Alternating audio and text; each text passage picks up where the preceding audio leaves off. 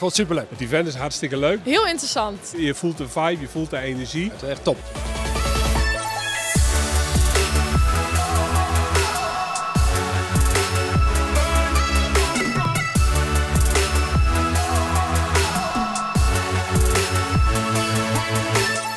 PropTech is uh, iets wat begon volgens mij in Amerika en nu ineens staat Nederland in het middelpunt. Er is ontzettend veel gaande in de sector en dat zie je hier vandaag bij elkaar komen. Het was dus leuk om daar mensen te ontmoeten en ook uh, andere verhalen te horen.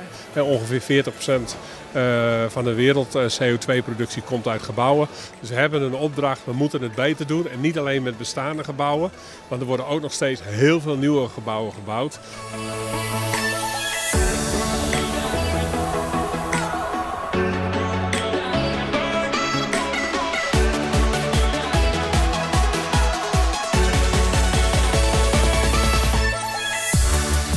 We moeten voornamelijk op zoek gaan naar innovaties die uiteindelijk iets doen voor de consument en de uitgebruiker.